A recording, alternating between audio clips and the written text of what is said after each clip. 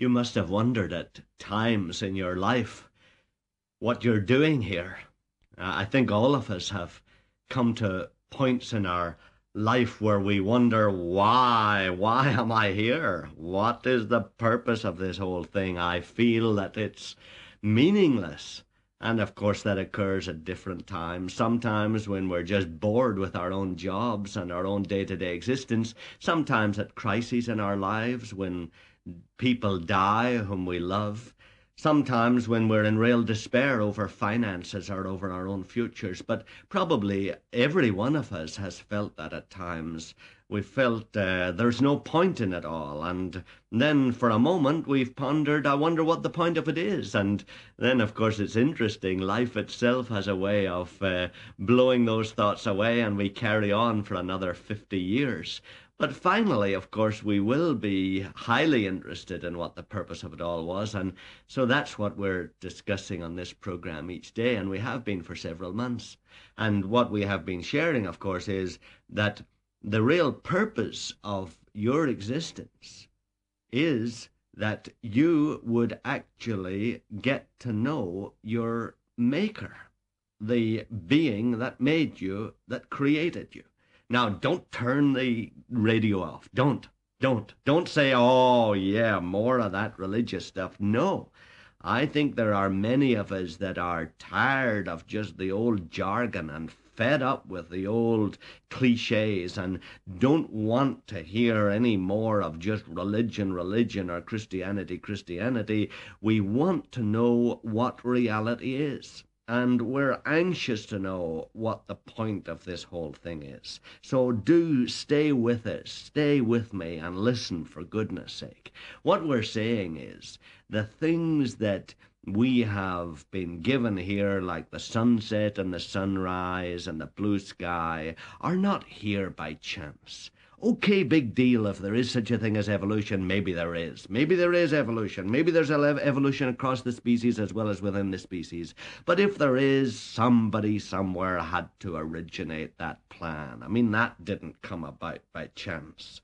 You don't get the ordered organization of our blood circulation and the ordered design of the seasons following one another year after year the way they do. You don't get the regular orbiting of the planets round each other as we have in our Milky Way without somebody somewhere planning something because we know in our own human lives where there's no conscious intellectual design, chaos results. So there has to be somebody behind it all all. And of course, what we're saying is that there was a remarkable being that lived in the first century of our era that actually showed that it was possible to go through death and come back to life again. And that being was the man known as Jesus. And if you study his life from an intellectual viewpoint, instead of just preoccupied with either rejecting him because he's religious or accepting him because he's religious, then you begin to discover that he was more than a human being and he did have powers over nature and powers over disease, and that he is regarded as the foremost ethical teacher that ever lived in the world by those who believe that he was more than a man and those who don't believe he was more than a man. And that this man, Jesus, did make some sense in the things he said to us about the meaning of life. And so we've been discussing the kinds of things he told us. And of course, he explained many things himself, and he also pointed out many things to his followers. And as a general uh, guide to us, he said, you know, the things that were written in what he called the law and the prophets, and what we, of course, call the Old Testament part of our Bible, he said, those things are true. They were written for your education and for your information and uh, nothing of them will pass away. Now, I explained some things to you more clearly, but the things that were written back there were written so that you would understand the meaning of life better. And so he reinforced in us belief in the bits of the Old Testament that explain the purpose and the meaning that is behind life.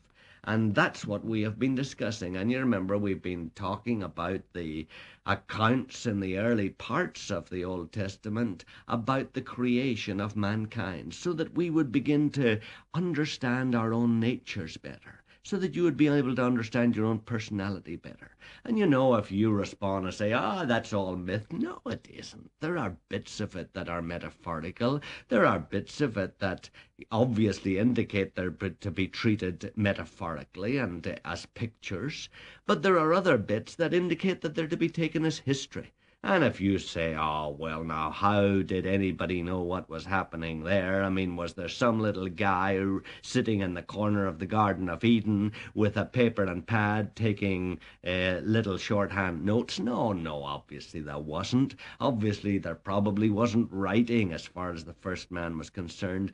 But you know what happened. The creator of the universe, who made it all happen, explained to the first men that lived in our world, explained what he had done and why he had done it. That's how we ever got the kind of account of creation that we have in Genesis. So don't let's treat the guys back there as dumb or stupid or idiotic or not as bright as we are. They were, they were. They knew where these accounts came from. They came from the creator of the universe who revealed them to the first man that ever lived and he passed the story on down to other people. And if you say, oh no, they can't pass stories on like that unless there's right Sure they can. A lot of our old nursery rhymes, a lot of our old poems come from men who learned hundreds and hundreds of lines of ballads and passed them on down to us. You know how much you have memorized without even trying to memorize it of popular songs. You know how many songs you know that you've never actually learned deliberately. So, of course,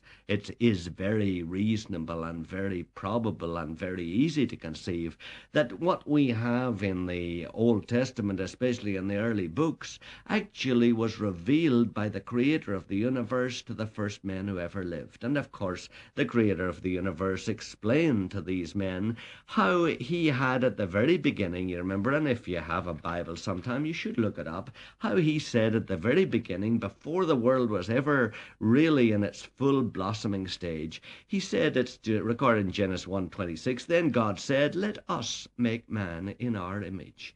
And that was God turning round to his son Jesus. His son Jesus lived before the world was made and saying to him, Look, uh, my son, let's make man in our image.